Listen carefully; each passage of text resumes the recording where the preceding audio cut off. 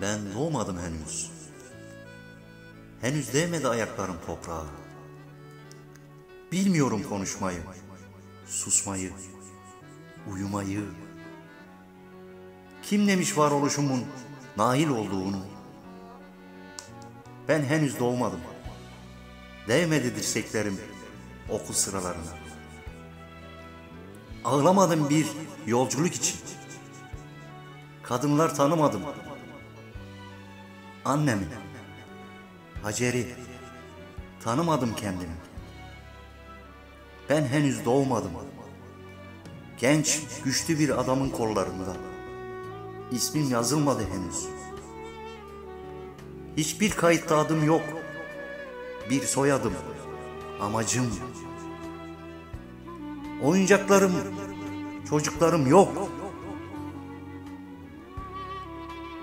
Kim görmüş benim doğduğumu? Güneşi izleyip yağmuru yakalamaya çalıştığımı. Hiçbir gökkuşağı hayal etmedim. Değmedi sokak lambaları gözlerime.